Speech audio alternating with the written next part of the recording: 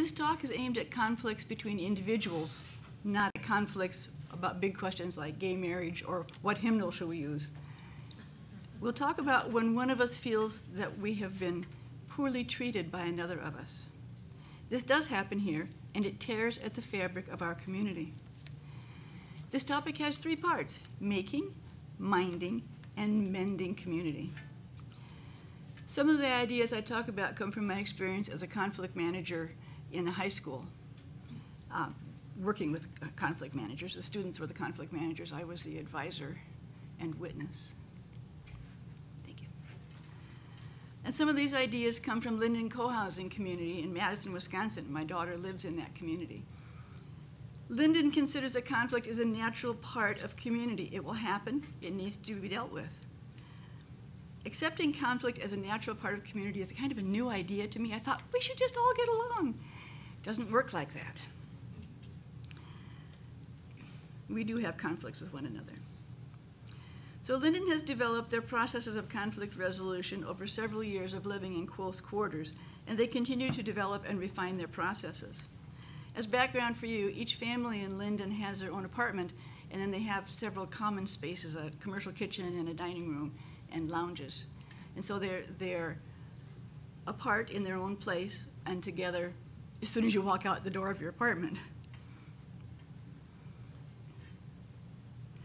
Um, conflicts at Linden come under the responsibility of a committee called 3MC, and those three M's are making, minding, and mending, and the C is for community. So we'll take these three M's one at a time. The first M is making community. The first step in making community is building a culture of trust through intentional practices that help people get to know and understand one another. That way, when there's conflict, the people involved aren't, aren't talking to strangers, they're talking to people that they know well and care about. These practices include community activities, and we already have many of these, which we will identify later this morning. We'll also brainstorm ways that we could have fun together not everyone all at once necessarily, but those who are interested in a particular activity go off together to do that thing. Fun is important. But before we do that, I'll talk about some other aspects of building community. Building a culture of trust includes defining and revisiting our group's shared values and agreements.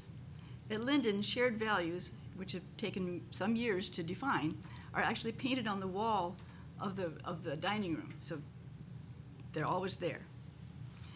People see them every time they eat together, which is often. I don't know that we have discussed our shared values. We do have some shared agreements. We have our, our um, what do you call the thing that we sign? Covenant. A covenant. We have our covenant. We have, when you join the church, you make certain promises. But that's about as far as we go, as far as I know, is in terms of shared agreements.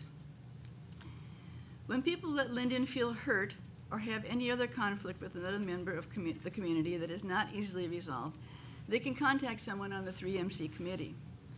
The committee meets to decide how to proceed. As every situation is unique, the committee may wish to investigate further and talk to all parties involved. They may decide they are e able to deal with the parties informally, or they may begin the formal conflict resolution process.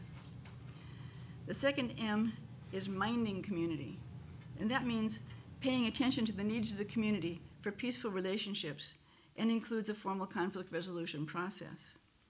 When someone comes to the committee about a conflict, the committee offers support to clarify and assess the situation.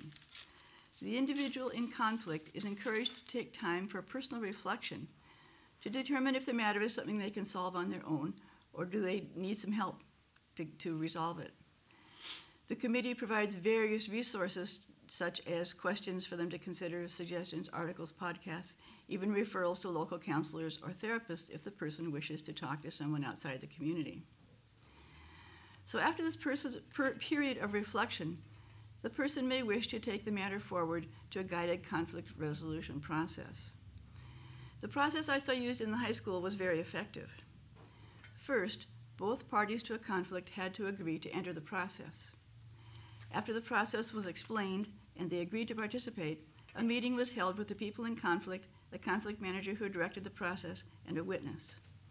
The parties agreed to listen without interrupting, knowing that they would also have a turn to be heard. This is key to the whole thing. Each person needed a chance to speak without fear of being shouted over. The conflict manager asked one person to speak. The conflict manager paraphrased each point to be sure they understood. Then the other person spoke, and the conflict manager paraphrased again. They kept on taking turns until the problem was all out in the open. Then the conflict manager asked them if they were ready to talk to each other. The goal was to have a formal plan to end the conflict. This plan was revisited with all parties at a later date to see if the conflict was resolved. If it wasn't resolved, they went through the process again. The third M is mending community. Conflicts between individuals often spill over and affects others in the community. Finding the balance between privacy, confidentiality, and the needs of the community to be informed is delicate. When people outside the process know something is going on, we don't like being left guessing or relying on gossip for information. This needs to be addressed as part of the conflict resolution process. So those are the three M's making, mending, and minding community. Okay, so we're going to talk about making community. And I'm going to ask you to work with some of the people around you.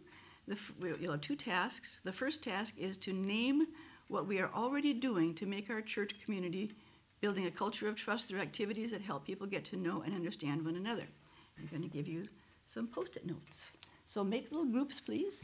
Your next task is to name or write down several fun activities that you would be willing to participate in with others in our community.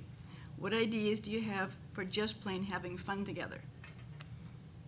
So new ideas. New ideas, more ways to have fun together. And so I will post your ideas one way or another, and we'll see what develops. You have another one? That's just fine. Uh, we're going to enter a period of reflection and then response.